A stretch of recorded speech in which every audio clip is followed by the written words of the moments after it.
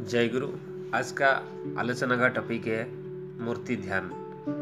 श्री श्री ठाकुर जी के जीवनी से संग्रहित। चलिए आलोचना करते हैं। कर्ता माँ, यानी जननी मनमोहन देवी श्री सतीश चंद्र जोतर से पूछे। कर्ता माँ, जननी मनमोहन देवी श्री सतीश चंद्र जोतर से पूछी, तुम लोग अनुकूल के मूर्ति का ध्यान क्यों करते हो?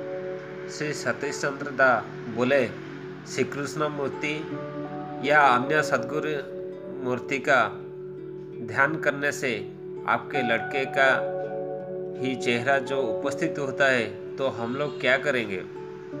कर्ता माँ बोली, ऐसा यदि वस्तुतः होता है तो करो।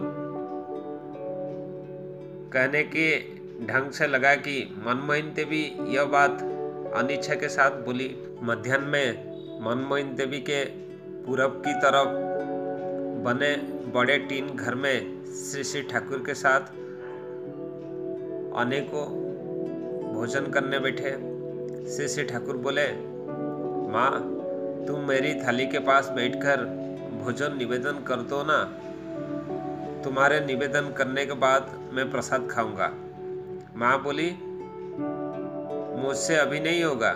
श्री ठाकुर बच्चों की तरह जीत करते हुए बोले नहीं माँ निवृत्त। तुम निवेदन नहीं करने पर मुझे अच्छा नहीं लगेगा।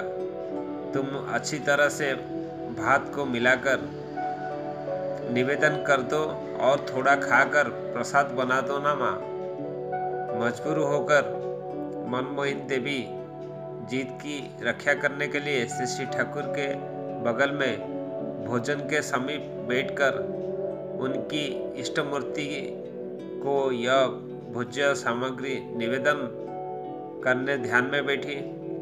ध्यान करते करते देखी कि उनका पुत्र ही इष्ट स्थल पर अधिष्ठित होकर भोज्य ग्रहण किया।